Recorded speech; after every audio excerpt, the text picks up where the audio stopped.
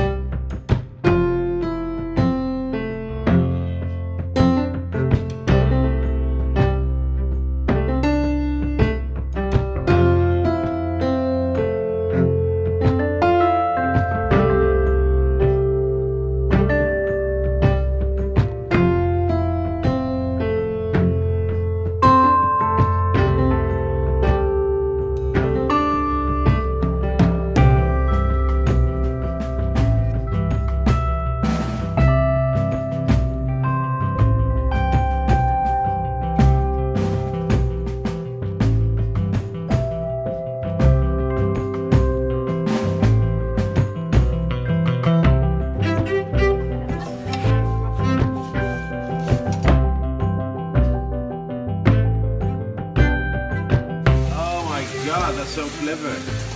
These guys are geniuses. tell people don't open. Look at that. I'm glad. Yeah, yeah, yeah. You've done a good job.